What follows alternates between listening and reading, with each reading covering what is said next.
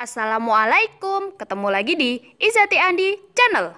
Jangan lupa ya untuk klik tombol subscribe agar kami tambah semangat. Terima kasih.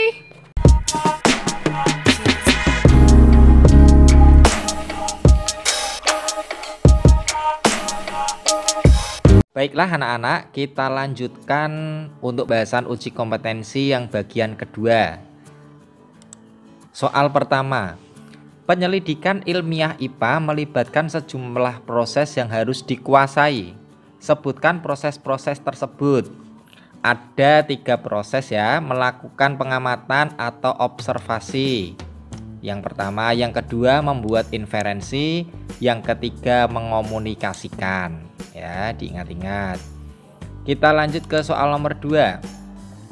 Mengapa dunia IPA menggunakan satuan-satuan pengukuran yang baku?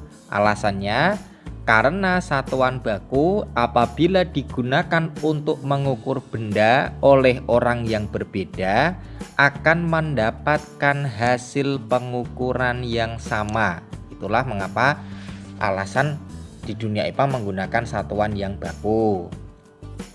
Soal nomor 3. Lakukanlah pengubahan satuan di bawah ini.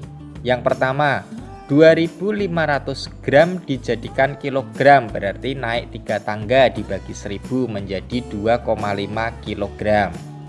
Yang kedua, 5 km berapa meter dikalikan 1000 sehingga menjadi 5000 meter.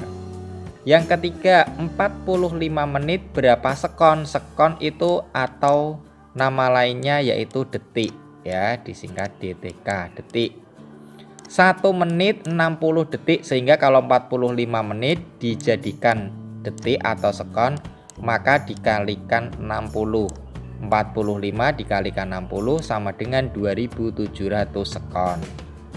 Yang keempat 700 cc berapa liter? cc sama dengan cm kubik. Ya cm kubik. Sedangkan liter sama dengan desimeter kubik.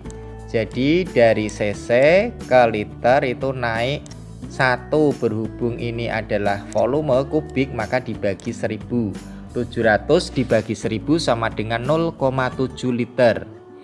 Yang kelima 1360 cm dijadikan kilometer. Dari cm ke kilometer naik 5 tangga sehingga dibagi 100.000 jadi jawabannya 0,0136 km soal yang keempat sebutkan tiga besaran pokok beserta satuannya dalam SI kemarin sudah ada 7 jiwa SMP satuan dan alat ukurnya sebagai berikut ya.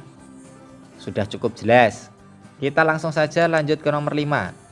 Sebutkan tiga besaran turunan beserta satuannya dalam SI. Berarti tadi selain jiwa SMP merupakan besaran turunan. Di antaranya ada kecepatan, gaya, tekanan, masa jenis, tegangan listrik, dan volume beserta satuan dan alat ukurnya. Sudah cukup jelas juga. Kita langsung ke nomor 6. Atau mengukur tebal suatu pelat besi dengan menggunakan suatu alat dengan hasil skala seperti gambar di samping. Berdasarkan gambar tersebut maka A. Apakah nama alat ukur yang digunakan atau ya ini adalah namanya mikrometer skrup.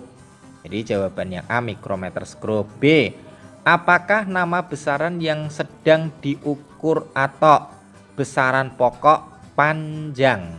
Ya, panjang. Yang C termasuk besaran pokok atau turunan? Termasuk besaran pokok karena panjang termasuk besaran pokok.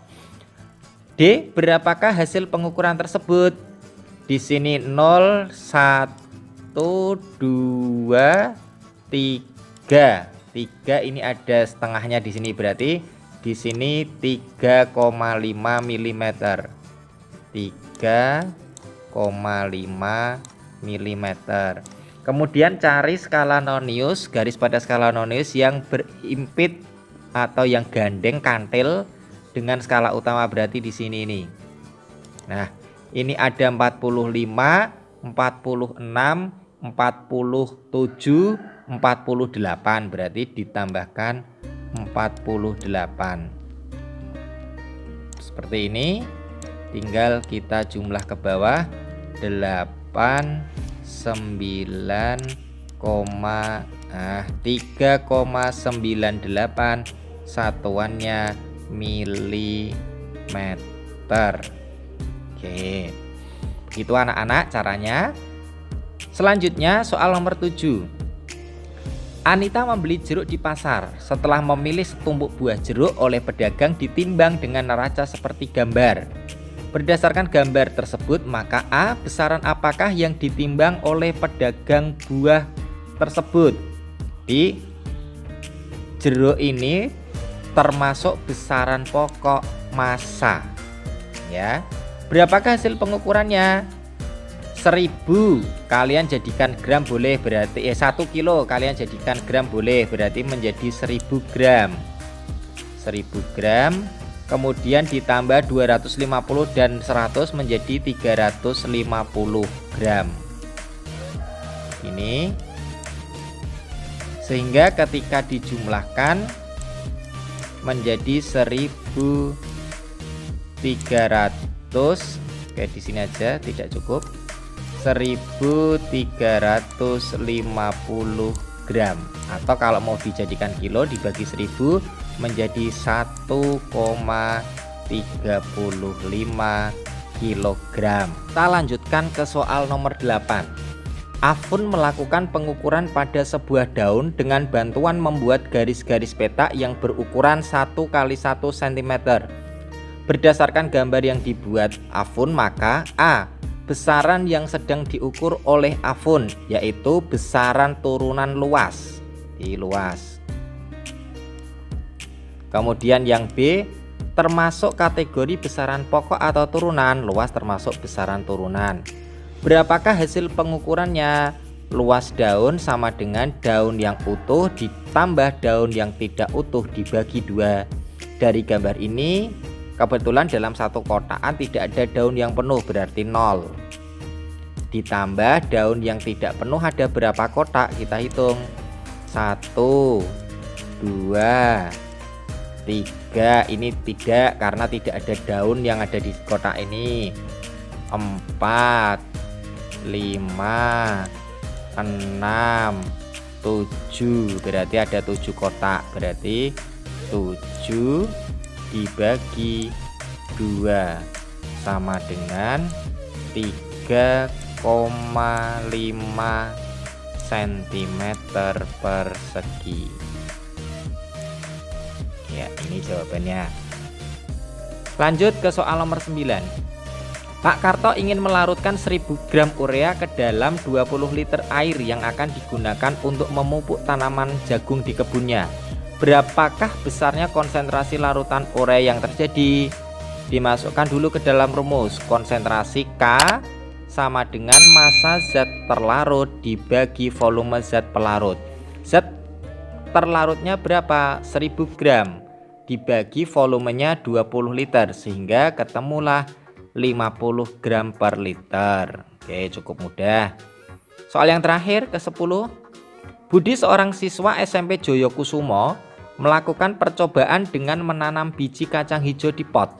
Setelah tumbuh, dilakukan pengukuran awal diperoleh tinggi tanaman kacang hijau 3 cm. Dalam waktu 10 hari, tingginya menjadi 13 cm. Berapa pertumbuhan pertambahan tinggi tanaman kacang hijau tiap harinya?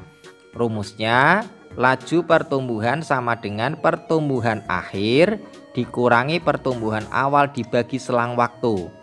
Pertumbuhan atau tinggi terakhirnya 13 cm dikurangi pertumbuhan awal 3 cm sama dengan 10 cm dibagi selang waktunya 10 hari sama dengan 1 cm per hari. Oke, mudah-mudahan cukup jelas dan dapat membantu. Sekian, wassalamualaikum warahmatullahi wabarakatuh.